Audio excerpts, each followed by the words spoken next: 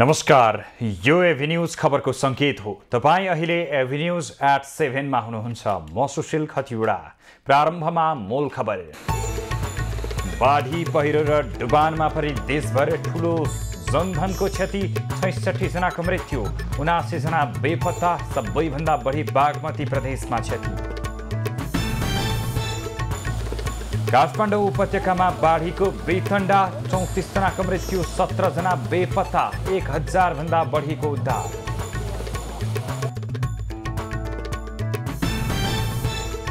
अविरल वर्षापछि आएको पहिरोका कारण देशभरका सडक अस्तव्यस्त प्रमुख राजमार्गहरू अवरुद्ध।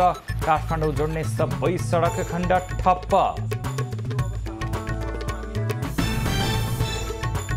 कोशी नदीमा पानीको सतह खतराको तहभन्दा माथि छप्पन्नवटै ढोका। खुल्ला पुलमाथि बाटै पानी बग्न थालेपछि आवत जावतमा रोक। विपदजन्य घटनाबाट जनधनको बढी क्षति हुन नदिन काम गरिरहेको सरकारको भनाई। सुरक्षित स्थानमा रहन सबैलाई आग्रह। विपदका बारेमा मूल्याङ्कन गरेर अगाडि बढ्छौँ।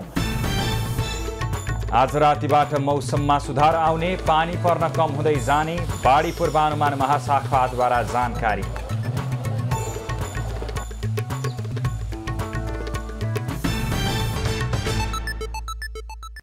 अब खबरको सिलसिला प्रारम्भ गरौँ बाढी पहिरो सम्बन्धी प्रसङ्गबाट।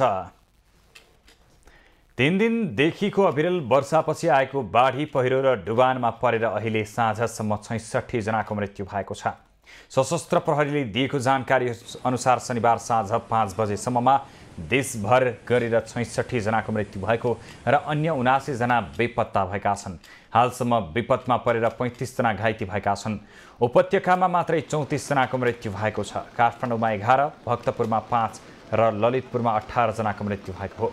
त्यस्तै काभ्रेमा चौध पाँच थरमा पाँच धनकुटामा दुई सोलुखुम्बुमा दुई सुनसरीमा एक धादिङमा एक सिन्धुपाल्चोकमा चार दोलखामा तिनजनाको मृत्यु भएको छ। यसै गरी ललितपुरमा पन्ध्र काभ्रेमा छब्बिस काठमाडौँमा छ मकवानपुरमा सात दोलखामा तिन झापामा चार पाँच थरमा पाँच सिन्धुपाल्चोकमा पाँचजना बेपत्ता रहेका छन्। अहिलेसम्म दुई हजारभन्दा बढीको उद्धार गरिएको सशस्त्र प्रहरीले जनाएको छ। बाढी पहिरोले दुई सयभन्दा बढी घरमा क्षति भएको छ। भगवानपुरको इन्द्र सरबार गाउँपालिकामा पहिरोमा बेपत्ता भएका सबै छजना बालकको शव भेटिएको छ।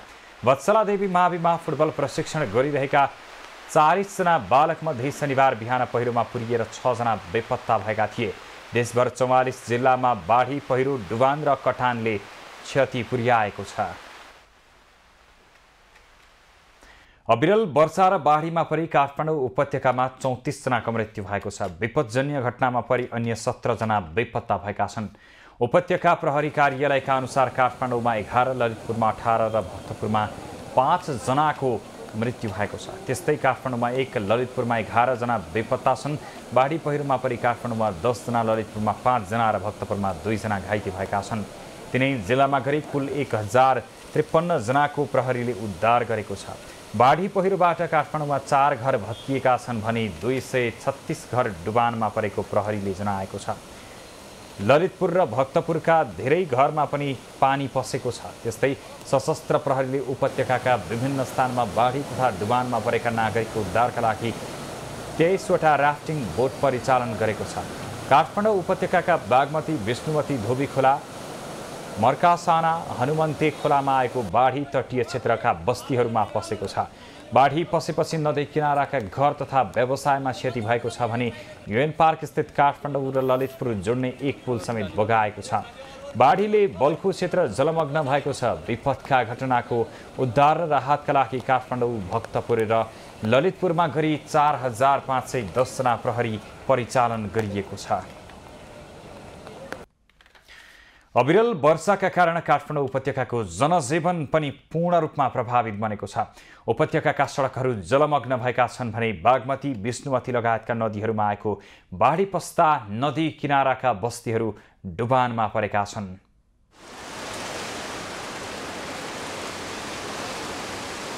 बिहिबार बेलुकादेखि परेको अविरल वर्षाका कारण नेपालका धेरै क्षेत्रमा मानिसहरूको जनजीवन प्रभावित भएको छ। धेरैको सङ्ख्यामा मानिसहरूको मृत्यु भएको छ भने हजारौँको सङ्ख्यामा मानिसहरूलाई उद्धार गरिएको छ। यस्तै काठमाडौँका विभिन्न जस्तै खसी बजार भक्तपुरको राधे राधे काठमाडौँको यो शङ्खमूल दोबान क्षेत्रमा मानिसहरूको भिड जमात लागेको छ कि यहाँको बाढी हेर्नका लागि।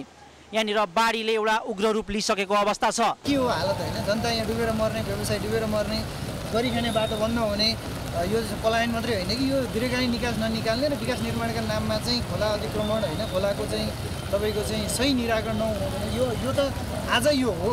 भोलि तपाईँको यहाँ चाहिँ अझ घरहरू बढ्दै जाँदा झन् पानीको बाबहरू चाहिँ तपाईँको बढ्न पाउँदैन। होइन बिचल्लीको महाबिचल्ली छ। यहाँबाट उता जान सकिँदैन। अब पुरा शरीर भिजेर हामी गरेका छौँ। हामी यही क्षेत्रको व्यवसाय अब डुबानमा छौँ भन्नु पर्यो। नेपाली काङ्ग्रेस पार्टी कार्यालयको छेउमा रहेको जुन स्थान हो त्यो त्यस स्थानमा एक व्यक्ति बिहानदेखि नै आफ्नो उद्धारको प्रतीक्षामा बसिराख्नु भएको छ। र जुन यो अहिले उद्धार कार्य छ यो नेपाल प्रहरी मात्र नभई उही जुन कन्टेनरमाथि रहेका व्यक्तिका साथीहरूले गरेको पाइएको छ। बिहिबार बेलुकादेखि परेको अविरल वर्षाका कारण नेपालका मुख्य राजमार्गहरू पनि ठप्प भइसकेको छ। अविरल वर्षाका कारण यातायातदेखि लिएर हवाई उडान सबै क्षेत्रमा यसले प्रभाव पारेको छ भने मानिसको जवन जनजीवनमा यसले एकदमै बढी प्रभाव पारेको छ। प्रायः जस्तो मुनि छोटो भएको मान्छेको सब अर्ग्यान वर्ष मान्छे डुबिसकेको म पनि साथीको एउटा भर्खर साथीको बोलाएर गएर आएको साथीको पानी फालेर आएको भर्खर। साथीको पोसलमा सबै पानी छिरेर म पनि एकछिन सहयोग गरेर आएको साथी अन्य स्टेज भन्ने साथी हुनुहुन्छ यहाँको उहाँ घरमा गएर म एकछिन सभा गरेर आएको मान्छे एकैछिन मात्रै भयो र तपाईँको यति नै पानी पऱ्यो भने सचेतै हुन्छ जनताहरू सचेत हुनुपर्छ बागमती नदीको वरपर रहेका किनारमा रहेका घर होटल आदि सम्पूर्ण संरचनाहरूको एक तलाको भाग सम्पूर्ण डुबेको अवस्था छ। जुन बागमती नदीको किनारमा लगाएका पर्खालहरू थिए त्यो पनि बागमती नदीले पूर्ण रूपमा भत्काएको अवस्था छ। तीन दिनदेखिको अविरल वर्षाका कारण काभ्रे जिल्लामा पनि बाढी पहिरोले ठुलो जनधनको क्षति गरेको छ। बाढी पहिरोमा परि चौधजनाको मृत्यु भएको छ भने सोह्रजना बेपत्ता छन्। बाढी पहिरोमा परेर अठारजना घाइते भएका छन् भने सतहत्तरजनाको उद्धार गरिएको प्रहरीले जनाएको छ। जिल्लामा पर्ने तीन राजमार्गहरू अवरुद्ध छन्। अविरल वर्षाका कारण शनिबार बिहान बनेपा नगरपालिका दस जनागाल स्थित एक घरमा पहिरो खस्दा छ वर्षीय युनिस हुमा गाईको मृत्यु भएको छ। घाइते अवस्थामा युनिसलाई तत्काल उद्धार गरी भक्तपुर अस्पताल पुर्याउँदा चिकित्सकले मृत घोषणा गरेका हुन्। त्यस्तै वर्षाका कारण बिहान दुई घर भत्किँदा तेमाल गाउँपालिका साथ चापाखोरीमा दुई महिलाको मृत्यु भएको छ। मृत्यु हुनेमा पचास वर्षीय पाताली तामाङ र उनकी उनाचालिस वर्षीय बहिनी रहेका छन्। पनौती नगरपालिका एघार थुम्कीमा पहिरोमा परेर एकै घरमा रहेका पाँचजना बेपत्ता भएका छन्। थुम्कीका पचास घर पहिरोको जोखिममा रहेको प्रहरीले जनाएको छ। त्यस्तै निरन्तर परेको पानीले बनेपाको पुल बजार क्षेत्र डुबानमा परेको छ। पुलमा पानीको सतह उच्च भएसँगै पुल बजार क्षेत्र डुबानमा परेको हो। पुल बजार क्षेत्र डुबान भएसँगै शनिबार बिहानदेखि अरनीको राजमार्गमा यातायात सञ्चालन अवरुद्ध भएको छ। राजमार्ग दुवै उपचारका लागि राजमार्ग हुँदै उपचारका लागि हिँडेका तर सडक डुबानमा परि बीच बाटोमै रोकिएका बिरामीहरूलाई नेपाली सेनाले राफ्टिङ बोट मार्फत उद्धार गरेको छ। त्यस्तै जिल्लाको श्रीखण्डपुर धनेश्वर पुल पनौती त्रिवेणी घाट लगायतका क्षेत्र पनि डुबानमा परेको सेनाले जनाएको छ। दोलखा सदरमुकाम चरीकोटको सिम्पानीमा अविरल वर्षाका कारण घर भत्किँदा तिनजनाको मृत्यु भएको छ। एकजना तिन वर्षीय बालक गम्भीर घाइते घाइते भएका छन्। सिम्पानी टोलमा घर भत्किँदा छत्तिस वर्षीय राजकुमार भुजेल छत्तिस वर्षीय राधिका भुजेल पन्ध्र वर्षीय सुजन भुजेलको मृत्यु भएको सशस्त्र प्रहरीले जनाएको छ। गम्भीर घाइते भएका तिन वर्षीय बालक युवराज भुजेललाई उपचारका लागि धुलीखेल अस्पताल पठाइएको छ। त्यसै गरी दोलखाको बिघु गाउँपालिका एक लामनगर नगरस्थित कन्ट्रोल भवन पहिरोले पुरिँदा दुईजना नेपाली सेना र दुई अप्पर तामाकोसीका कर्मचारी सम्पर्कविहीन भएको जिल्ला प्रहरी कार्यालय दोलखाले जानकारी दिएको छ। अविरल वर्षाका कारण सुनकोशी नदीमा आएको बाढीले सिन्धुली र रामेछाप र सिन्धुली जोड्ने सडकको दुईवटा पुल र तिनवटा झोलुङ्गे पुल बगाएको छ। पुलहरू बगाएपछि सिन्धुलीबाट रामेछापको सदरमुकाम मन्थली पुग्ने आवागमन विच्छेद भएको छ। बाढी पहिरोमा परि सिन्धुलीमा दुईजनाको मृत्यु भएको छ। सुनकोशी गाउँपालिकामा एक र कमलामाई नगरपालिकामा एकजनालाई बाढी पहिरोले बगाएको हो। सुनकोशी नदीमा आएको बाढीले नेपालथोक कुरकुट मुलकुट लगायतका स्थानमा डुबान भएको छ। कमला मरिण र चहा चदाहा र तावाकामा आएको बाढीले स्थानीय किसानहरूको हजारौँ हेक्टर उर्वर खेती जग्गाहरू कटान गरेको छ। रोसी नदी र सुनकोशी नदीको बाढीको बिचमा फँसेका कुशेश्वर गुरुकुलका तेत्तिसजना शिक्षक र छात्र छात्राहरूको हेलिकप्टरबाट उद्धार गरिएको छ। निरन्तरको वर्षाका कारण सुनसरीका विभिन्न क्षेत्र पनि डुबानमा परेका छन्। सुनसरीको बुर्जु गाउँपालिका सहितका क्षेत्रका क्षेत्रमा रहेका बस्तीहरू डुबानमा परेका हुन्। घरमा पानी पसेर खाद्यान्नहरू समेत डुबानमा परेपछि स्थानीय समस्यामा परेका छन्।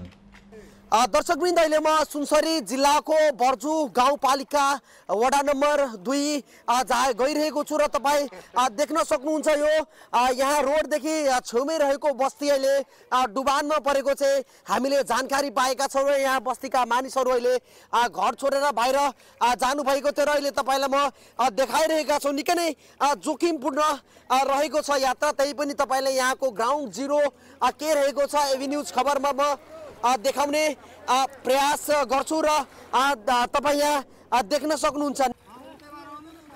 जेना जे हिसाब से करते वो हिसाब से करके सब गरीब जते गरीब छे मर रहल छन् डिवान में ई गरीब के सबके पूरा करेला चाहिए दर्शक पनि तपाईँलाई देखाइरहेका छौँ। तपाईँ देख्न सक्नुहुन्छ अहिले पानी परिरहेको छ र म यो सुनसरीको बर्जु गाउँपालिका वडा नम्बर दुईमा रहेको भीमपुरमा आएको छु र यो घरहरू तपाईँ देख्न सक्नुहुन्छ अहिले घरहरू डुबानमा रहेको छ।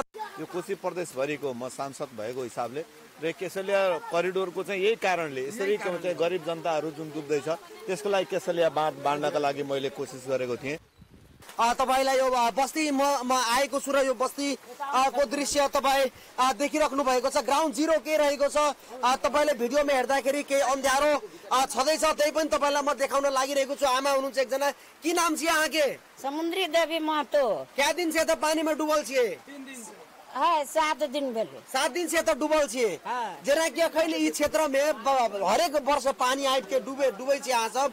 एतका नेता सब अहाँ सब की करे छै कुछ देखे छै कि नहीं? किछो न करे छै। भोट ले के बेला में कहे छै घर बना देबो दोसर तीन जगह देबो।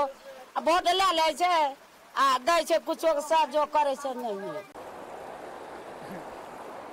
सुनसरीको बर्जु गाउँपालिका वडा नम्बर दुई भीमपुरमा। आ, छु र यहाँ को चाहिँ मानिसहरू चाहिँ आफ्नो घर जुन डुबानमा परेको छ त्यो डुबानमा परेको घरलाई छोडेर अहिले सुरक्षित वासस्थानतर्फ लागिराख्नु भएको छ र उहाँहरूलाई खान बस्न समेत समस्या परेको विषयमा चाहिँ हामीलाई जानकारी दिइराख्नु भएको छ। एमी न्युज खबरका लागि क्यामेरामा निशान कडेलका साथ वीरेन्द्र कुमार शाह। निरन्तरको वर्षासँगै आएको बाढीले चितवन र आसपासको जनजीवन पनि कष्टकर बनेको छ। नारायणी नदीमा आएको बाढी किनाराका बस्तीहरूमा पसेका पसेको छ। भरतपुर महानगरपालिकाको वडा नम्बर तिन सोह्र छब्बिस अठाइस लगायतका वडाका केही घरमा पानी पसेको छ। बाढीबाट प्रभावित भएकालाई भरतपुर महानगरपालिकाले सुरक्षित स्थानमा सारेर तत्कालका लागि खानेकुरा र अन्य व्यवस्था मिलाएको जनाएको छ। नारायणी नदीमा पचास वर्ष यताकै ठुलो बाढी आए पनि नदी किनारामा निर्माण गरिएको तटबन्धले धेरैजसो स्थानमा बाढी बस्तीमा पस्नबाट रोकेको छ। यसैबीच जिल्ला प्रशासन कार्यालय चितवनले आइतबारसम्म नारायणगढ मुगलिन सडकमा यात्रा गर्न रोक लगाएको छ। अविरल वर्षा भइरहेको र नारायणगढ मुगलिन सडक खण्ड नागढुङ्गा खण्डमा विभिन्न भागमा पहिरो झर्ने क्रम नरोकिएको उल्लेख गर्दै प्रशासनले सडक खण्डमा यात्रा गर्न रोक लगाएको हो। यो समयमा बीच सडकमा रहेका सवारी चालकलाई धैर्य गर्न प्रशासनले आग्रह गरेको छ। कोशी ब्यारेजमा पानीको बहाव अत्याधिक बढेपछि पुलमाथिबाट पानी बगेको छ। कोशी नदीको बहाव शनिबार अपरान्न चार बजे पाँच लाख उनान्चास हजार क्युसेक मापन भएको छ। बाढीको बहाव उच्च भएपछि कोशीमा सवारी आवत जावतमा पनि बन्द गरिएको छ। शनिबार साँझ मापन गरिएको साढे पाँच लाख क्युसेक पानी सैँतिस वर्ष यताकै उच्च हो। यसअघि सन् उन्नाइस सय सतासीमा पाँच लाख तेइस हजार क्युसेक मापन भएको थियो। सप्तकोशी नदीको बहाव शनिबार बिहान नौ बजे र नौ बजे चार लाख उनासी हजार उन्चालिस उन्चास हजार छ सय अस्सी क्युसेक मापन भएपछि ब्यारेजका छप्पन्नवटै ढोका खोलिएको हो। ब्यारेजको नियन्त्रण भारतीय पक्षले गर्छ। भाव उच्च भएपछि भारतीय पक्षले सबै ढोका खोलेको खुल्ला गरेको हो। भारतीय पक्षले बाढी छ लाख एकासी हजार तिन सय उन्तिस उन्चालिस क्युसेक पुग्ने खतरा रहेकाले सतर्कता अपनाउन आग्रह गरेको छ भाव उच्च भएपछि सुनसरी र सप्तरीमा स्थानीय प्रशासनले सतर्कता अपनाएका छन् बाढी निरन्तर बढ्दो क्रममा रहेकाले सतर्कता अपनाइएको सुनसरी प्रहरी प्रमुख प्रहरी परीक्षक विपिन रेग्मीले बताएका छन् उनका अनुसार बाढीमा दाउरा निकाल्न र माछा मार्न रोक लगाइएको छ भारतीय पक्षले पानीको भाव उच्च हुने आङ्कलन गरेपछि सतर्कता थप अपनाइएको उनले बताए कोसीमा भाव उच्च भएपछि भारतको पटनास्थित जल संसाधन विभागका प्रधान सचिव सन्तोषले शुक्रबार सूचना जारी गर्दै सतर्कता अपनाउन आग्रह गरेका थिए। भाव उच्च हुँदा डुबानको जोखिम हुने भएकाले कोशी नदीसँग जोडिएका भारतको सुपौल सहरमा सहरसा मधेपुरा मधुबनी दरभङ्गा र खगडिया जिल्लाको प्रहरीलाई सतर्क रहन पनि उनले आग्रह गरेका थिए। कुलेखानी जलविद्युत केन्द्रको जलाशय इन्द्र सरोवर तालमा पानीको सतह घट्न थालेको छ। जलाशयमा क्षमताभन्दा बढी पानी भरिएर ओभरफ्लो भएपछि बाँधको सुरक्षालाई मध्यनजर गर्दै आज बिहान करिब पाँच बजेतिर ड्यामको दुईवटा ढोका खोलिएको थियो। कुलेखानीको जलाशयमा कुल एक हजार पाँच सय तिस मिटर पानी भण्डारण गर्ने क्षमता भए पनि आज बिहान चार बजेतिर जलाशयमा एक हजार पाँच सय एकतिस मिटर पानी भरिएको थियो। पानी भरिएर खतराको सङ्केत देखिएपछि दुई ढोका चार दशमलव पाँच मिटर खोलिएको थियो। ड्यामको दुई ढोका खोलिएपछि अहिलेसम्म जलसतह घटेर एक हजार पाँच सय तिस दशमलव दस मिटरमा आइपुगेको कुलेखानी जलविद्युत केन्द्रले जनाएको छ। नेपाल हाल निगमले बाढीले बगाएर ल्याएको बुलेट अड्किएको ललितपुरको च्यासल पुल नजिकै अग्निजन्य पदार्थ प्रयोग नगर्न आग्रह गरेको छ। शनिबार सूचना जारी गर्दै निगमले उक्त बुलेटको ग्यास चुहिएर सकिएको देखिए पनि बुलेट ननिकालेसम्म जोखिमपूर्ण रूपमा हटि नसक्ने भन्दै यस्तो अग्निजन्य पदार्थ प्रयोग नगर्न आग्रह गरेको हो। शुक्रबारदेखिको अविरल वर्षाले भक्तपुरमा ग्यासबाट चल्ने सवारी साधनमा ग्यास भर्ने कम्पनीको बुलेट बगाएको थियो। उक्त बुलेट च्यासल पुलमा अड्किएको छ। ग्यास चुहिँदै गरेको अवस्थामा शनिबार बिहान उक्त बुलेट हनुमन्ते नदीमा बग्दै गरेको देखिएको थियो। भक्तपुरबाट बगाएर ल्याएको उक्त बुलेट बाढीमा बग्दै गर्दा ग्यास निस्किएर माथितिर गइरहेको देखिएको थियो।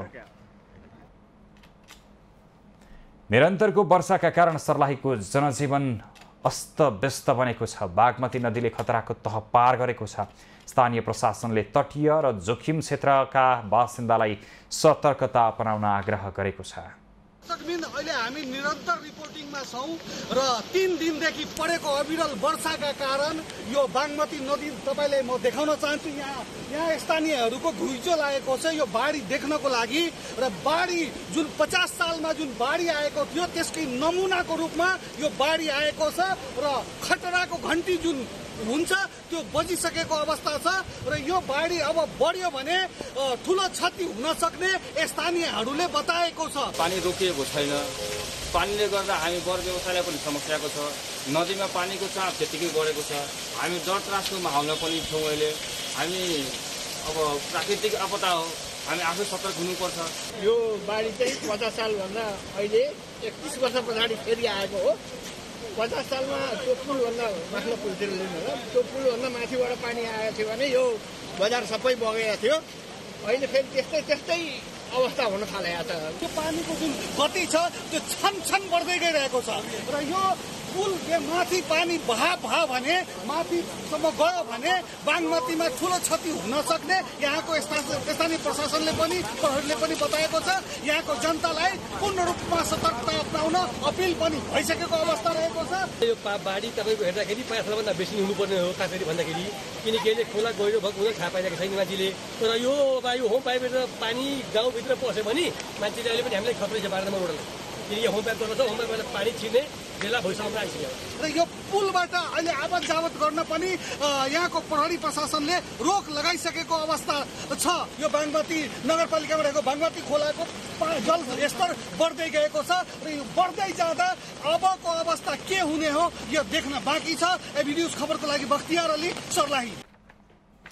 आदरणीय दर्शकवृन्द पछिल्लो तिन दिनदेखि देशभर वर्षा भइरहेको छ र वर्षा बाढीका कारण देशभरको जनजीवन अस्तव्यस्त बनेको छ प्रभावित बनिरहेको छ भने अहिलेसम्मको तथ्याङ्क अनुसार जनाको मृत्यु भइसकेको अवस्था रहेको छ भने करिब अस्सीजनाभन्दा बढी अझै बेपत्ता रहेको अवस्था रहेको छ। खास गरेर यो वर्षाको कारणले ठाउँ ठाउँमा पहिरो गएको छ पहिरो गएका कारण सडकहरू अस्तव्यस्त बनिरहेका छन् र काठमाडौँ जोड्ने मुख्य सडक नारायणगढ मुगलिन सडक खण्ड अन्तर्गत पर्ने धादिङको धुनीबेसीमा पनि पहिरो गएका कारण त्यहाँ एउटा बसमा पनि क्षति पुगेको छ भनिएको छ। खास गरेर जुन बसमा क्षति पुगेको छ भनिएको छ यसको पछिल्लो विवरण के रहेको छ यस विषयमा हामी कुराकानी गर्न यतिखेर हाम्रो प्रत्यक्ष सम्पर्कमा जोडिनु भएको छ। धादिङ धुनीबेसी गाउँपालिका वडा नम्बर नौका वडा अध्यक्ष माधव प्रसाद सिलवाल। माधवजी।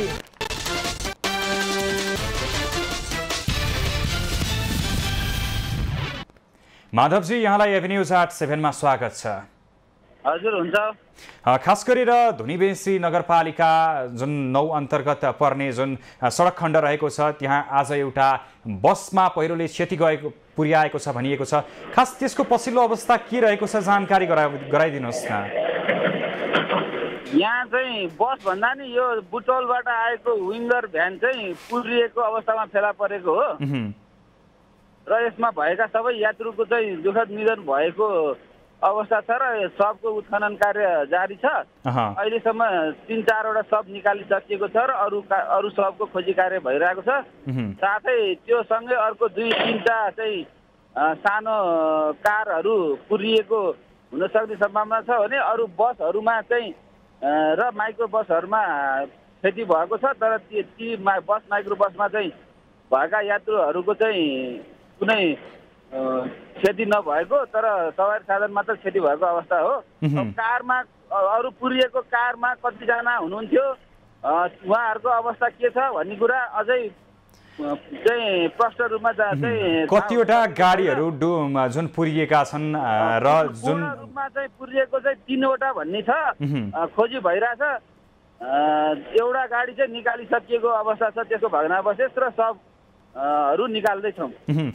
तपाईँले जानकारी गराइरहँदाखेरि काठमाडौँ आउँदै गरेको भेनमा अहिलेसम्म चारवटा जुन सब बरामद गरिएको छ भनिएको छ सो भेनमा कतिजना चढेका थिए र अहिले उद्धारको कार्य अथवा जुन खोजी कार्य कसरी चलिरहेको छ यो विषयमा जानकारी गराइदिनुहोस् न। त्यसमा बाह्रजना चाहिँ यात्रुहरू हुनुहुन्थ्यो भन्ने जानकारी आएको छ। र बाह्रजनाकै अवस्था चाहिँ अब अज्ञात छ त्यसमा अब सब खोजी कार्य भइरहेको छ। यस पछाडि जसरी अहिले पनि वर्षा भइरहेको छ यो वर्षालाई मध्यनजर गरेर त्यहाँ उद्धारको कार्यलाई तयारी सुरक्षाको कार्यलाई कसरी अगाडि बढाइएको छ जुन धुनीबेसी गाउँपालिकाले कसरी यसलाई हेरिरहेको छ यो विषयमा पनि जानकारी गराइदिनुहोस् न। यो चाहिँ धुनीबेसी नगरपालिका र काठमाडौँको चन्द्रगिरी नगरपालिकाको सीमा क्षेत्रमा पर्छ घटनास्थल। यसमा अहिले यहीँ उपलब्ध भएका चाहिँ एउटा स्काभेटर र दुईवटा चाहिँ ब्याको लोडरले उत्खनन कार्य गरिरहेको छ। प्रहरीको टोलीहरू पनि व्यापक रूपमा परिचालन भइसकेको छ। धादिङ तर्फबाट पनि काठमाडौँ तर्फबाट पनि। र हाल अहिले यहाँ वर्षाको अवस्था चाहिँ छैन। पानी पर्न रोकिएको अवस्था छ। दिनभरि पानी र बाटो पनि सबैतिर अवरुद्ध भएको कारणले के अहिले भन्दा लगभग एक घन्टा जति अगाडि मात्रै हामी यो स्थानमा आइपुगेका थियौँ। र यहाँ आइपुग्ने बित्तिकै एकदम तदारुकताका साथ उत्खनन गरेर चाहिँ सबहरू निकाल्ने र सवारी साधन निकाल्ने काम भइरहेको छ। जस्तै बाटोमा पहिरोको जोखिम त्यत्तिकै रहेको छ बाटोमा सवारी साधनहरू पनि त्यत्तिकै लामबद्ध भएर बसिराखेको अवस्था रहेको छ। काठमाडौँबाट चितवनतर्फ जाने र चितवनबाट काठमाडौँतर्फ आउने पनि सयौँ सवारी साधनहरू बिचमै अलपत्र अवस्थामा रहेका छन्। यी जुन सवारी साधनहरू रह- रहेका छन् त्यो ठाउँमा पनि पहिरोको त्यत्तिकै सम्भावना देखिएको छ। त्यसको लागि के तयारी छ? कसरी अगाडि बढिरहेको छ? जोखिम कस्तो देखिएको छ अहिलेसम्म हेर्दाखेरि? अहिले चाहिँ अब जुन ठाउँमा यो सवारी पुगेको त्यो त्यो ठाउँको पहिरो पन्छाएपछि चाहिँ यातायात सुचारू हुन सक्ने अवस्था छ। उहुँ। याभन्दा माथि लाइन लागेर बसेका सवारीहरू अहिले नागढुङ्गाको पहिरो पन्छाएर सबै काठमाडौँ गइसकेको अवस्था छ र यो पहिरोभन्दा तलतिरको सवारी साधनहरू यता आउनु काठमाडौँतर्फ आउन सक्ने अवस्था छैन। र ती सवारी साधनमा भएका यात्रुहरूलाई पनि सुरुङ मार्गको प्रयोग गरेर र लोकल बसहरूको प्रयोग गरेर काठमाडौँ पठाउने काम भइरहेको छ। जानकारीका लागि धेरै धेरै धन्यवाद। आदरणीय दर्शकवृन्द धादिङको धुनीबेसी गाउँपालिका वडा नम्बर नौका वडा अध्यक्ष माधव प्रसाद सिलवालसँग हामीले कुराकानी गऱ्यौँ खास गरेर काठमाडौँ आउँदै गरेको एउटा भ्यान पहिरोले पुरिएको छ। भ्यानसँगै अन्य तिनवटा सवारी साधनहरू पनि पुरिएका छन्। यद्यपि भ्यानमा भने बाह्रजना रहेको आशंका गरिएको छ भने अहिलेसम्म उद्धार गरिरहँदा खोजी कार्य गरिरहँदा चारजनाको शव भने फेला परिसकेको अवस्था रहेको छ। खास गरेर बाढी पहिरोको कारणले गर्दाखेरि नारायणगढ मुगलिन सडक खण्ड पनि अवरुद्ध भएको छ जसका कारण सयौँ यात्रुहरू बिच बाटोमै अलपत्र परिरहेको अवस्था रहेको छ भने कतिपय पहिरो खसेका कारण ज्यान गुमाउनु परेको अवस्था पनि रहेको छ र देशभर पछिल्लो विवरण अनुसार छैसठीजनाभन्दा बढीको मृत्यु भइसकेको अवस्था रहेको छ भने अस्सीजनाभन्दा बढी अझै बेपत्ता रहेका छन् भने करिब दुई हजारभन्दा बढीको उद्धार गरिएको छ। र खास गरेर मौसम विज्ञान विभागका अनुसार यो जुन वर्षा रहेको छ अझै निरन्तर रहेको हुने भएका कारणले जुन पूर्वानुमान गरिएको छ जसका कारणले अझै पनि नदीको तटीय क्षेत्रमा नजान सँगसँगै अत्यावश्यक काम बाहेक बाहिर ननिस्कन र कतै जानु परे पनि सुरक्षित तवरले जान आग्रह गरिएको छ। खबरको सिलसिला अझै जारी छ हामीसँगै रहनुहोला। बाढी पहिरो र डुबानमा परि देशभर ठुलो जनधनको क्षति छैसठीजनाको मृत्यु उनासीजना बेपत्ता सबैभन्दा बढी बागमती प्रदेशमा क्षति। काठमाडौँ उपत्यकामा बाढीको बेतण्डा चौतिसजनाको मृत्यु सत्रजना बेपत्ता एक हजारभन्दा बढीको उद्धार।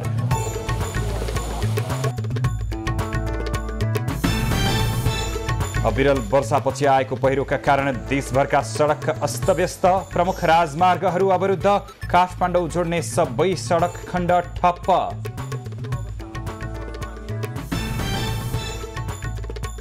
कोशी नदीमा पानीको सतह खतराको तहभन्दा माथि छैसठीवटै ढोका खुला पुलमाथिबाटै पानी बग्न थालेपछि आवत जावतमा रोक। विपदजन्य घटनाबाट जनधनको बढी क्षति हुन नदिन काम गरिरहेको सरकारको भनाई। सुरक्षित स्थानमा रहन सबैलाई आग्रह। विपदका बारेमा मूल्याङ्कन गरेर अगाडि बढ्छौँ। आज रातिबाट मौसममा सुधार आउने पानी पर्न कम हुँदै जाने बाढी पूर्वानुमान शाखाद्वारा जानकारी।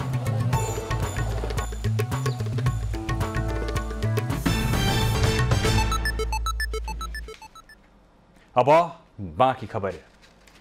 अविरल वर्षापछि आएको बाढी पहिरो डुबानका कारण देशभर तेइस सडकका त्रिसठी स्थानमा यातायात पूर्ण रूपमा ठप्प भएका छन्। सडक विभागले सङ्कलन गरेको प्रारम्भिक विवरण अनुसार बाढी पहिरोका कारण हिमाली तथा पहाडी क्षेत्रका अधिकांश सडकहरूमा यातायात आवागमन प्रभावित भएका छन्। विभिन्न राजमार्गका त्रिसठी स्थानमा यातायात अवरुद्ध भएका छन्। काठमाडौँ उपत्यका प्रवेश गर्ने सबै नाका बन्द भएका छन्। विद्युत तथा इन्टरनेट सम्पर्क विच्छेद हुँदा सबै विवरण सङ्कलन गर्न पनि कठिनाई भइरहेको छ।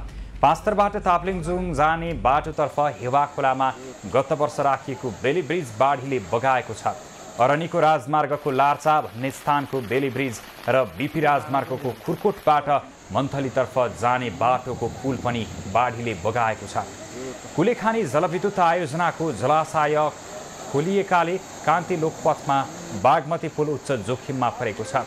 बिपी राजमार्गमा नेपाल भन्दा केही अगाडि रोसी खोलामा आएको बाढीले एक सय मिटर जति बाटो बगाएको छ धेरै नदीमा पानीको सतह निरन्तर बढिरहेकाले अधिकांश पुल जोखिमको अवस्थामा रहेको सडक विभागले जनाएको छ बाढीले त्रिभुवन राजपथ पूर्ण अवरुद्ध रहेको छ त्यस्तै पृथ्वी राजमार्ग अन्तर्गतको नौबिसे मुगलिन पोखरा राजमार्ग अवरुद्ध छ अरनीको राजमार्ग अन्तर्गत काठमाडौँ धुलीखेल दोलालघाट खाडीचौर कोधारी राजमार्ग पनि ठप्प छ। उक्त सडक उक्त राजमार्ग अन्तर्गत सिन्धुपाल्चोकको लार्चा पुल बगाएपछि यातायात सञ्जाल पूर्ण रूपमा विच्छेद भएको छ। अविरल वर्षापछि त्रिशुली नदीमा आएको भीषण बाढीले छेउवाटार स्थित झोलुङ्गे पुल बगाएको छ भने अन्य तीन झोलुङ्गे पुल बाढीको उच्च जोखिममा परेका छन्। गोर्खा र धादिङ तथा गोर्खा चितवन जोड्ने त्रिशुली नदीमाथिका विभिन्न ठाउँमा रहेका झोलुङ्गे पुलमा बाढीले क्षति पुर्याएको हो। बाढीले गोर्खाको शहीद लखन गाउँपालिका चार ठेउवाटार र चितवनको इच्छा कामना गाउँपालिका चार धारापानी स्थित कोरिन्टार जोड्ने झोलुङ्गे पुल बगाएको छ।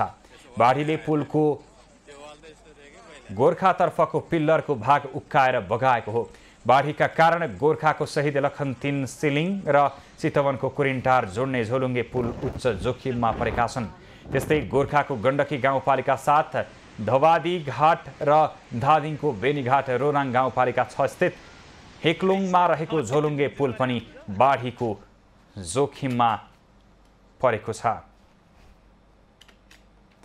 चीनसँगको तातोपानी नाका जोड्ने एक मात्र भोटे कोसीको बेली ब्रिज बाढीले बगाएको छ। पुल बगाएसँगै उत्तरी नाकाको आवागमन बन्द भएको छ।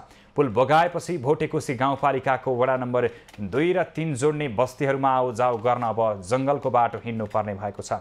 पुल बगाएपछि चिनसँगको व्यापारिक कन्टेनर आउजाउ पूर्ण रूपमा रोकिएको छ। अरनीको राजमार्ग निर्माणका क्रममा चिनले बनाएको लार्चा स्थित पक्की पुल दुई हजार चौहत्तर साल साउनमा पहिरोले भोटे कोसीमा खसालेको थियो। पक्की पुलको अभावमा बेली ब्रिज राखेर अस्थायी रूपमा आउजाउ गरिँदै आएको थियो। चिनसँगको प्रमुख व्यापारिक नाका जोड्ने स्थान रहेको पक्की पुल बगाएको आठ वर्षसम्म सरकारले व्यवस्था गर्दै आएको गुनासो स्थानीयको रहेको छ।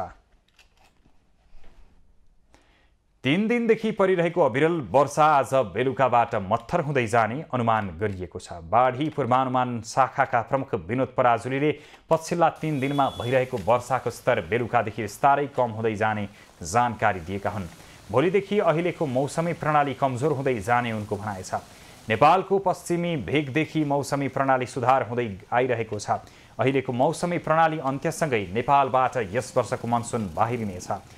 शाखारी बङ्गालको खाडीको न्यून चापीय प्रणालीको आंशिक प्रभाव र मनसुन न्यून चापीय रेखा नेपाल र भारतको सीमामा अवस्थित रहनु नै अहिलेको मनसुनी वर्षाको मुख्य कारण भएको जनाएको छ। नेपालको सीमा जोडिएको भारतका धेरै भूभागमा समेत वर्षा भएका छन्। पछिल्ला तिन दिनमा मुलुकका विभिन्न स्थानमा अति भारी भारी र सामान्य वर्षा भएका छन्। समग्रतामा तिन सय मिलिमिटरभन्दा बढी वर्षा भएको महाशाखाको तथ्याङ्क छ। चौबिस घन्टामा एक सय चालिस मिलिमिटरभन्दा बढी वर्षा भएमा खतराको तह पार गरेको मानिन्छ। एक सय सातवटा वर्षामापन केन्द्रमा खतराको तह नागेको छ। यसपटक सतहत्तरवटै जिल्लामा वर्षा भएको छ। बागमती मधेस लुम्बिनी र गण्डकी प्रदेशमा भारी वर्षा भएको छ। कर्णाली र सुदूरपश्चिम प्रदेशका पहाडी तथा हिमाली क्षेत्रमा खास वर्षा भएको छैन। बाढीले बितण्डा मचाएको छ नखु खोलामा माथिबाट ऊ घर के बगाएर ल्यायो ड्रम? बिहिबारदेखि देशभर लगातार वर्षा भइरहेको छ। जल तथा मौसम विज्ञान विभागका अनुसार यति बेला नेपालका सतहत्तर जिल्लामा अत्याधिक वर्षामापन गरिएको छ। धेरैजसो स्थानमा दुई सय मिलिमिटरभन्दा बढी वर्षा भएको छ। सबैभन्दा धेरै चितवनको त्रिशुली काली खोलामा दुई सय पचास दशमलव चार मिलिमिटर वर्षामापन गरिएको छ। तनहुको विमलनगरमा दुई सय दस सुनसरीको पुरानो चतरामा दुई सय चार नवलपरासीको डन्डामा दुई सय एघार पाल्पाको अर्चेलामा दुई सय अडतिस मकवानपुरको चिसापानी गढीमा दुई सय र दामनमा दुई सय उन्तिस दशमलव दुई मिलिमिटर वर्षामापन गरिएको छ। चितवनको झुवाडीमा एक सय उनान्सय दशमलव आठ र गोविन्द बस्तीमा दुई सय पैँतिस मिलिमिटर वर्षा भएको छ। ललितपुरको गोदाबारीमा दुई सय चालिस कुमलटारमा दुई सय अडतिस टिकाथलीमा दुई सय तेइस दशमलव दुई काठमाडौँको बबरमहलमा एक सय छ्यानब्बे दशमलव दुई मिलिमिटर वर्षा मापन भएको छ।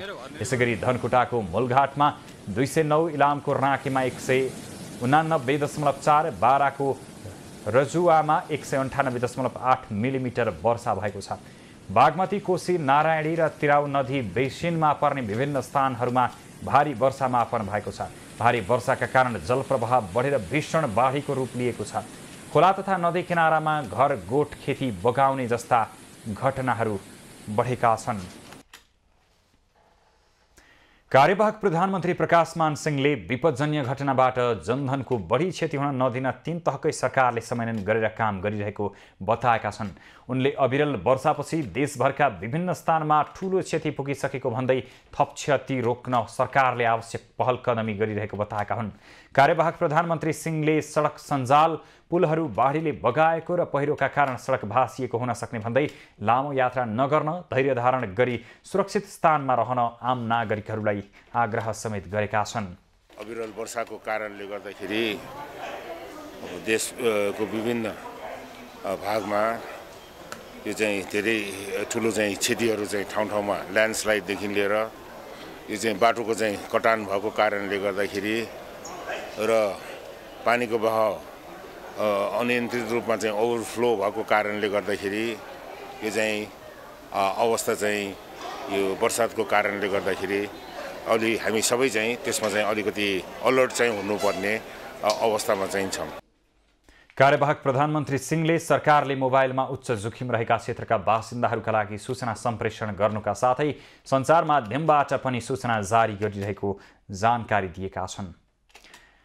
सरकारले अविरल वर्षाका कारण विपदमा परेका नागरिकको उद्धार र राहतलाई प्राथमिकतामा राख्ने निर्णय गरेको छ शनिबार कार्यवाहक प्रधानमन्त्री प्रकाशमान सिंहले बोलाएको आपतकालीन समनात्मक बैठकले विपदमा परेर घाइतेहरू भएकाहरूलाई निशुल्क उपचार गर्ने निर्णय पनि गरेको छ बैठकले बाढी पहिरोमा परि निधन भएकाको परिवारलाई दिनुपर्ने राहत रकम नियमअनुसार प्रदान गर्ने निर्णय पनि गरेको सञ्चार तथा सूचना प्रविधि मन्त्री पृथ्वी सुब्बा गुरुङले जानकारी दिए त्यस्तै बैठकले तत्काल र अविलम्ब अवरुद्ध सडक खोल्न भौतिक मन्त्रालयले पहल गर्ने तथा अवरुद्ध टेलिफोन र विद्युत नियमित गर्न सम्बन्धित मन्त्रालयले पहल गर्ने निर्णय पनि गरिएको छ।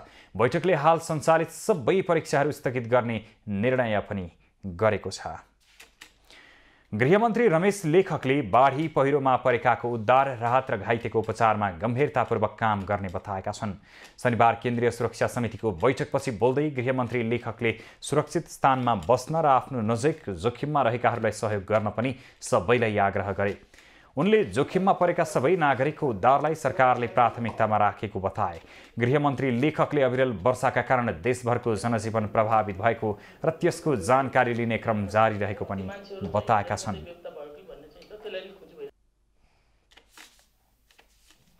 नेपाल सरकारका सबै सम्बद्ध निकायका मानिसहरू बसेर छलफल गरेर आफआफ्नो ठाउँबाट अहिलेको विपदको स्थितिमा नागरिकको जीवन जोगाउनका लागि र आगामी दिनमा काम गर्नका लागि हामी खटिनुपर्छ भन्ने निष्कर्षका साथ हामी उठेका छौँ र तत्कालै हामी केन्द्रीय सुरक्षा समितिको बैठक गरेर त्यसमा पनि यो विपदका बारेमा मूल्याङ्कन गरेर अगाडि बढ्छौँ। गृहमन्त्री लेखकले बाढी पहिरोबाट क्षति पुगेका सडक पुल पुलेसा निर्माण र प्रभावितहरूको पुनरुत्थानलाई प्राथमिकतामा राखेर काम गर्ने प्रतिबद्धता पनि जनाएका छन्। स्वास्थ्य तथा जनसङ्ख्या मन्त्रालयले वर्षा र बाढीबाट भएको विपदका घटनामा उद्धार गरिएका घाइते बिरामीहरूको निशुल्क उपचार गर्न सबै स्वास्थ्य संस्थाहरूलाई आग्रह गरेको छ। शनिबार एक विज्ञप्ति जारी गर्दै मन्त्रालयले केही दिनदेखि देशका अधिकांश क्षेत्रमा मौसममा बदलाव आई मेघगर्जन चट्याङ र हावाहुरी सहितको वर्षाका कारणले निम्ति आएको प्राकृतिक प्रकोपले जनमानसको स्वास्थ्यमा प्रतिकूल प्रभाव परेको र भविष्यमा थप पार्न सक्ने भएकाले सबै स्वास्थ्य संस्था र सम्बन्धित सरोकारवालाहरूलाई सतर्क रही उपचारमा सहयोग गर्न पनि आग्रह गरेको छ। मन्त्रालयले सबै प्रादेशिक स्वास्थ्य संस्था र आपतकालीन कार्य सञ्चालन केन्द्रहरूलाई आपतकालीन अवस्थामा स्वास्थ्य सम्बन्धी समस्याको बारेमा जानकारी प्रदान गर्नका लागि हटलाइन नम्बर सार्वजनिक गर्न आग्रह गरेको छ। त्यसै गरी जिल्ला प्रदेश जिल्ला र स्थानीय तहका द्रुत प्रतिकार्य टोलीलाई तयारी अवस्थामा राख्न प्रादेशिक स्वास्थ्य आपतकालीन केन्द्रहरूलाई हब तथा सेटेलाइट अस्पतालहरूसँग समन्वयन गरी आकस्मिक चिकित्सकीय समूहहरूलाई तयारी अवस्थामा राख्न पनि आग्रह गरिएको छ। मन्त्रालयले स्रोत साधनहरूको अध्यावधिक गर्न स्वास्थ्य संस्थाबाट प्रदान गरिने आकस्मिक सेवा र जनशक्तिलाई चौबिसै घन्टा उपलब्ध हुने गरी व्यवस्था मिलाउन पनि स्वास्थ्य संस्थाहरूलाई भनेको छ। यस्तै आपतकालीन अवस्थामा स्वास्थ्य सम्बन्धी कुनै समस्याको बारेमा जानकारी आवश्यक परेमा कल सेन्टरको हटलाइन नम्बर एघार पन्ध्रमा सम्पर्क गर्न आपतकालीन अवस्था आइपरि स्वास्थ्य संस्था जानु परेमा तालिम प्राप्त एम्बुलेन्स चालक र स्वास्थ्य कर्मी सहितको एम्बुलेन्सको हटलाइन नम्बर एक सय दुईमा सम्पर्क गर्न आग्रह गरिएको छ। अविरल वर्षाका कारण काठमाडौँ उपत्यका सहित धेरै ठाउँको विद्युत आपूर्ति प्रभावित भएको छ। वर्षाले विद्युत प्रसारण तथा वितरण प्रणालीको पूर्वाधारहरूमा क्षति पुर्याउँदा आपूर्ति प्रभावित भएको नेपाल विद्युत प्राधिकरणले जनाएको छ। प्राधिकरणका प्रवक्ता चन्दन कुमार घोषका अनुसार काठमाडौँ उपत्यकाको आधा क्षेत्रमा विद्युत आपूर्ति प्रभावित भएको छ। प्रवक्ता घोषले काठमाडौँ उपत्यकाको विद्युत माग सामान्य अवस्थामा करिब चार सय मेगावाट हुने गरेकोमा शनिबार करिब दुई सय मेगावाट मात्र रहेको बताए। बानेश्वर सबस्टेसनबाट ललितपुरको गोदावारी इमाडोल लुभु च्यासल क्षेत्रमा विद्युत आपूर्ति भएका फिडहरू प्रभावित भएका छन्। भक्तपुर सबस्टेसनबाट खोपासी नलिनचोक र बोडे खानेपानीलाई विद्युत आपूर्ति दिइरहेका फिडर बन्द भएका छन्। त्यस्तै पाटन सबस्टेसनबाट विद्युत आपूर्ति दिएका कुमलटार इमाडोल सात दोबाटो गोदाबारी हात्तीवन चापागाउँ खोकना चक्रपथ हरिसिद्धि रेडियो नेपाल र लुब फिडर बन्द भएका छन्। लैनचौर सबस्टेसनबाट विद्युत आपूर्ति दिएको गौरीधारा फिडर बन्द छ। टेकु सबस्टेसनबाट विद्युत आपूर्ति दिएका किर्तिपुर बागमती तहचल सुन्धारा कालीमाटी चक्रपथ र चमती फिडर प्रभावित भएका छन् नयाँ चाबहिल सबस्टेसनबाट विद्युत आपूर्ति भइरहेका हाँडी गाउँ तथा कालोपुल र सिउचाटार सबस्टेसनबाट विद्युत आपूर्ति भइरहेका कलङ्की बलम्बु रोपवे फिडर प्रभावित भएका छन् मुस्ताङको थासाङ गाउँपालिका दुईमा अवस्थित धौलागिरी आइसफल नयाँ पर्यटकीय गन्तव्यको रूपमा विकास हुन थालेको छ। बेनी जोमसोम सडक खण्ड अन्तर्गत थासाङको टाछाडादेखि पाँच घन्टाको पैदल यात्रामा धौलागिरी हिमालको आइसफल क्षेत्रमा पुग्न सकिन्छ। धौलागिरी आइसफलमा मानापाती हिमालको समेत आइसफलसँगै जोडिएको छ। सडक मार्गबाट छोटो अवधिमै पैदल यात्रामा हिमालको काखमा पुग्न सकिने भएकाले धौलागिरी आइसफल नयाँ पर्यटकीय गन्तव्यको रूपमा विकास हुने सम्भावना रहेको छ। तराईमा आउनु यानि कि हिमालको फेदमा आउनु भनेको यो चाहिँ एकदमै छोटो दूरीमा यहाँसम्म आउनु सकिन्छ। लगभग एकचालिस सय मिटरभन्दा बढीको हाइट छ यो र हामी यहाँ आउँदै गर्दाखेरि हामीले विभिन्न चाहिँ पशुपन्छीहरू जस्तै याक चौरीहरू त हामी यहीँ पालन गरेको देखिरहेका छौँ भने हामीले भर्खर मात्र पनि डाफीहरू पनि निकै देख्यौँ। वरिपरि हिमालको लस्करले घेरिएको बुकी पाटनबाट हिमालको टुप्पोदेखि निरन्तर खसिरहने आइसफलको दृश्य देखिन्छ। धौलागिरी आइसफल पदमार्ग र आइसफल क्षेत्रमा प्रत्यक्ष रूपमा हिमाली र जङ्गली पशुपन्छीलाई समेत अवलोकन गर्न सकिने भएकाले यो पदमार्ग उत्कृष्ट नयाँ पर्यटकीय गन्तव्यको रूपमा विकास हुने सम्भावना रहेको छ। समुद्री सतहदेखि चार हजार एक सय पचास मिटर उचाइमा रहेको धौलागिरी र मानापाथी हिमालको आइसफल क्षेत्रबाट नेलगिरी र अन्नपूर्ण लगायतका हिम श्रृङ्खलाका दसवटा बढी हिम सुचुरोहरूको समेत नजिकबाट दृश्यावलोकन गर्न सकिन्छ। यहाँको बुकी पाटनमा परम्परागत रूपमा हुँदै आएको चौरी पालन समेत पर्यटकहरूका लागि आकर्षण बन्ने गरेको छ। असोजदेखि कार्तिक र फागुनदेखि असारसम्म आन्तरिक तथा बाह्य पर्यटकहरू यस क्षेत्रमा पुग्ने गरेका छन्। अबको पालो हेभिन्युज एड बिजनेस बर्दिया प्रशासनको नेतृत्वमा बर्दियाको राजापुर नगरपालिकामा सञ्चालनमा रहेका पसलहरूको अनुगमन गरिएको छ राजापुर नगरपालिका बजार क्षेत्रभित्र सञ्चालनमा रहेका पसल लगायत अन्य खाद्य सामग्रीहरू बिक्री वितरण गर्ने पसलहरूको संयुक्त रूपमा अनुगमन गरिएको हो। नजिकै गरेको दसैँ तिहार पर्वलाई समेत लक्षित गरी बर्दिया प्रशासनले बजार अनुगमनलाई तीव्रता दिएको छ। अनुगमनका क्रममा भेटिएका म्याद नागेका उपभोग्य वस्तु लेबल नभएका वस्तुहरू मूल्य सूची नराखेका पसलहरूलाई जरिवाना गराई म्याद नागेका उपभोग्य तथा खाद्य वस्तुहरू नष्ट गरिएको जिल्ला प्रशासन कार्यालय बर्दियाले जनाएको छ।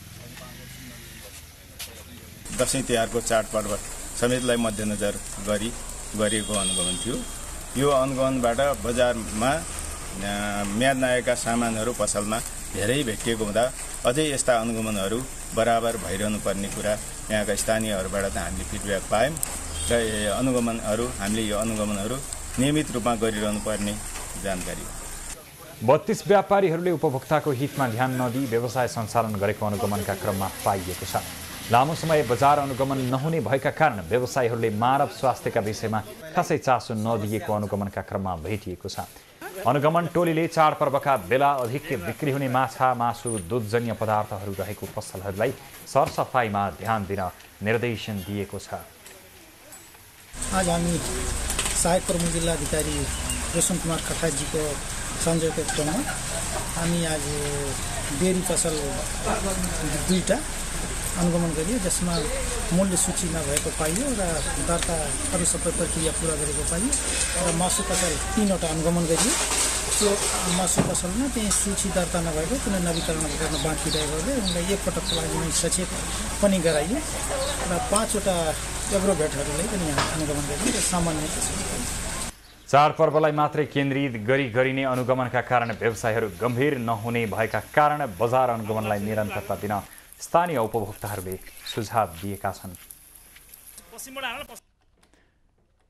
खबरको सिलसिला अझै जारी छ हामीसँगै रहनुहोला बाढी पहिरो र डुबानमा परि देशभर ठुलो जनधनको क्षति छैसठी जनाको मृत्यु उनासी जना बेपत्ता सबैभन्दा बढी बागमती प्रदेशमा क्षति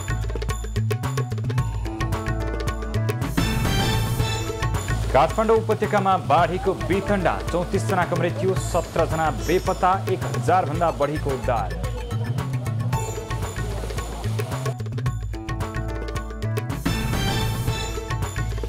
अविरल वर्षापछि आएको पहिरोका कारण देशभरका सडक अस्तव्यस्त प्रमुख राजमार्गहरू अवरुद्ध। काठमाडौँ जोड्ने सबै सडक खण्ड ठप्प। कोशी नदीमा पानीको सतह खतराको तहभन्दा माथि छैसठीवटै ढोका खुल्ला। पुलमाथिबाटै पानी बग्न थालेपछि आवत जावतमा रोक। विपदजन्य घटनाबाट जनधनको बढी क्षति हुन नदिन काम गरिरहेको सरकारको भनाई सुरक्षित स्थानमा रहन सबैलाई आग्रह। विपदका बारेमा मूल्याङ्कन गरेर अगाडि बढ्छौँ। आज रातिबाट मौसममा सुधार आउने पानी पर्न कम हुँदै जाने बाढी पूर्वानुमान शाखाद्वारा जानकारी।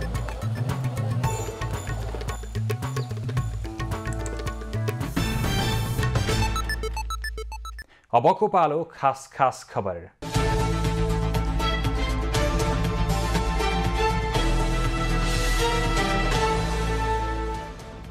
अमेरिका भ्रमणमा रहेका प्रधानमन्त्री केपी ओलीले गृहमन्त्री रमेश लेखकलाई फोन गरेर बाढी पहिरो र डुबानबाट भएको क्षतिबारे जानकारी लिएका छन्। उनले नेपाली सेना नेपाल प्रहरी सशस्त्र प्रहरी बलका विपद उद्धार टोलीलाई पूर्ण क्षमताका साथ उद्धार कार्यमा खटिन निर्देशन समेत दिएका छन्। प्रधानमन्त्री ओलीले केही ठाउँमा उद्धारमा ढिलाइ भएको खबर आएको भन्दै सम्बन्धित जिल्लाका प्रमुख जिल्ला अधिकारीहरूलाई पनि जिम्मेवारीपूर्वक उद्धारको काम अघि बढाउन निर्देशन दिएका छन्।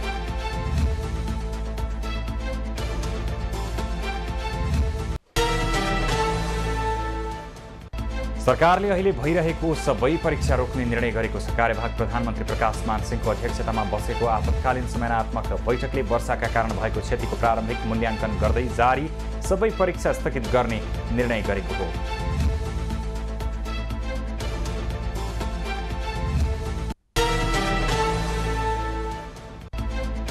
धादिङको सदरमुकाम धादिङ बेन्सीलाई पृथ्वी राजमार्गसँग जोड्ने धादिङ बेन्सी मलेकु सडक पहिरोले अवरुद्ध बनेको छ। नीलकण्ठ नगरपालिका आठ दारेगौडा र साधुटारमा सडक माथिबाट खसेको पहिरोले सडक पूर्ण रूपमा अवरुद्ध बनेको हो। ढुङ्गा र रुखहरू सहितको पहिरो खसेकाले तत्काल बाटो खुलाउन कठिन रहेको जिल्ला प्रहरी कार्यालय धादिङले जनाएको छ।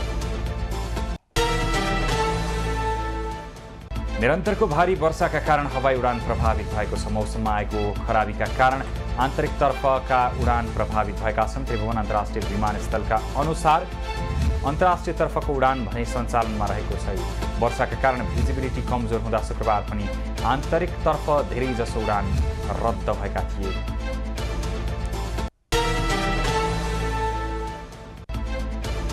देशभरि मनसुन सक्रिय भएसँगै हिमाली जिल्ला मनाङमा हिमपात भएको छ। माथिल्लो मनाङका टङ्की खर खङसार तिलिचो बेस क्याम्प थोराङ्ला भन्ज्याङ त्यस्तै नारफुल लगायतका क्षेत्रमा हिमपात भएको हो। हिमपातले माथिल्लो मनाङमा पर्यटक तथा स्थानीयको जनजीवन प्रभावित बनेको स्थानीय प्रशासनले जनाएको छ। प्रशासनले पैदल यात्री पर्यटक स्थानीयलाई सडक तथा सवारी साधनको अवस्था विश्लेषण गरेर मात्र यात्रा आह्वान गरेको छ।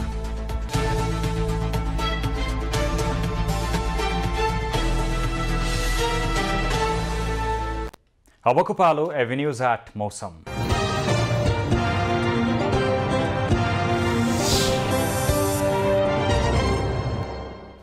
पछिल्लो चौबिस घन्टामा कोशी मधेस बागमती गण्डकी लुम्बिनी सुदूरपश्चिम प्रदेशका धेरैजसो स्थानमा मेघगर्जनसहित हल्कादेखि मध्यम वर्षा भयो आज राति कोशी बागमती लुम्बिनी सुदूरपश्चिम प्रदेशका एक दुई स्थानमा भारी वर्षाको सम्भावना रहेको जुल्ता मौसम पूर्वानुमान महाशाखाले जनाएको छ। आज काठमाडौँ उपत्यकाको अधिकतम तापक्रम उन्नाइस डिग्री सेल्सियस र न्यूनतम तापक्रम सत्र डिग्री सेल्सियसका बिचमा मापन गरियो।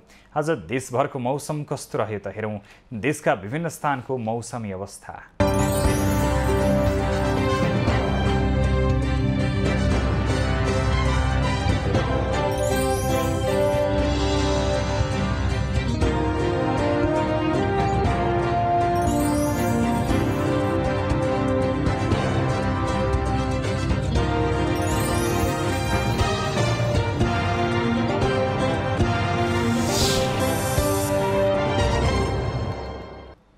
अहिलेलाई खबरको क्रम यति नै एभिन्युज खबरका सहित अन्य विस्तृत खबरका लागि W W W dot Avenues dot TV login गर्न सक्नुहुनेछ साथै एभिन्युजका अन्य खबरहरू एभिन्युज खबरका सामाजिक सञ्जालहरूमा पढ्न हेर्न र सुन्न सक्नुहुनेछ खबरभित्रको खबरका लागि हेर्दै रहनुहोला एभिन्युज खबर नमस्कार